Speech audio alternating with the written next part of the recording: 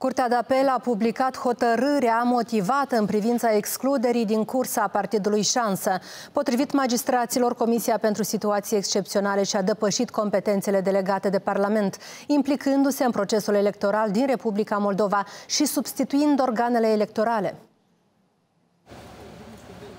În hotărârea publicată de Curtea de Apel se spune că la emiterea dispoziției numărul 92 din 3 noiembrie 2023 de către Comisia pentru Situații Excepționale a Republicii Moldova s-au făcut derogări inadmisibile de la prevederile codului electoral, fiind substituite astfel organele electorale, ori Comisia a fost abilitată să ia măsuri doar ce țin de depășirea stării de urgență.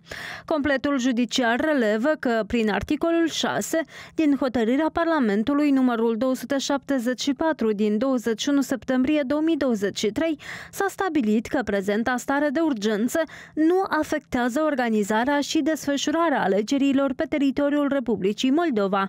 Prin urmare și argumentele reprezentanților CSE și SIS cu privire la respectarea competenței prin aplicarea directă a legii numărul 212 din 2004 privind regimul stării de urgență urgență de asediu și de război nu pot fi reținute, ori norma articolului 72 aliniat 4 cod electoral stabilește expres că după expirarea termenului menționat la aliniatul 3, înregistrarea concurentului electoral poate fi anulată de organul electoral care l-a înregistrat, în baza deciziei instanței de judecată, în caz de deces al acestuia sau de survenire a condițiilor stabilite la articolul 16 aliniat 2, precum și în temeiul articolului 102, aliniat 5. Dacă concurentul electoral își retrage candidatura sau înregistrarea este anulată după tipărirea buletinelor de vot în buletin, în dreptul acestuia, biroul electoral al secției de votare aplică ștampila cu mențiunea retras. Astfel, potrivit magistraților, la emiterea dispoziției numărul 92 din 3 noiembrie 2023 nu s-a ținut cont de prevederile legii enunțate, fiind preluată competența exclusivă a organului electoral, ori activitatea administrativă se realizează numai de autoritatea publică competentă și în limitele competenței legale. Prin urmare, colegiul remarcă că argumentele reprezentantului pârâte CSE și ale terțului SIS cu privire la necesitatea emiterii dispoziției contestate în circumstanțele pretinse acțiuni de destabilizare, corupere sau implicarea factorilor externi nu pot fi reținute, având în vedere că emiterea acesteia de către CSE a avut loc cu încălcarea competenței, ori instituțiile statului urmează să respecte procedurile legale corespunzătoare, potrivit potrivit legislației în vigoare. Subsidiar celor remarcate supra, colegiul precizează că chiar dacă autorității publice emitente a actului normativ contestat i s-ar fi oferit o anumită libertate de decizie, acest lucru nu presupune nici într-un caz devierea de la prevederile legii, ori decizia luată trebuie să corespundă sensului legislației în vigoare, principiilor generale ale dreptului intern și internațional, drepturilor și libertăților fundamentale fundamentale ale omului, fiind respectat principiul legalității, oportunității și al echității.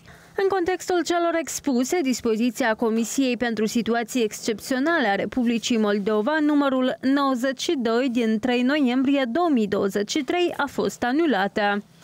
În reacție, reprezentanții guvernului au spus că constatarea curții de apel va fi contestată la Curtea Supremă de Justiție. Vom apăra dreptul instituțiilor statului de a proteja securitatea națională de grupurile criminal organizate, a menționat purtătorul de cuvânt al executivului Daniel Vodea. Și premierul a criticat decizia pronunțată, acuzându-i pe judecători că au anulat o hotărâre prin care a fost curmată activitatea criminală și ingerința grupărilor criminale în procesul electoral local. Secretarul cec Alexandru Berlinski ne-a spus după decizia Curții de Apel că cec în alegeri s-a condus strict de prevederile cadrului legal. Amintim că cu două zile înaintea alegerilor generale locale, Comisia Electorală Centrală a dispus anularea înregistrării tuturor candidaților partidului politic Șansă. Decizia a fost luată de Comisia pentru Situații Excepționale în contextul raportului prezentat de SIS, privind o eventuală implicare a Federației Ruse prin intermediul acestei formațiuni politice în alegerile locale. Federația Rusă nu poate intra astăzi cu tancuri în Moldova, așa cum a intrat în Ucraina. Însă, în schimb, intră cu crima organizată, bani murdari care se corupă justiția, se corupă funcționari publici, se corupă politicul, se dezinformeze. Au o rețea națională de organizatori, trezorerieri, oameni care discută cu poliția, etc. Au la dispoziție dispozitive electronice criptate pentru comunicare și transfer de bani a menționat premierul. Partidul Șans a numit această decizie ilegală și fără probe, interferând cu exercitarea liberă a dreptului de vot și un abuz de putere.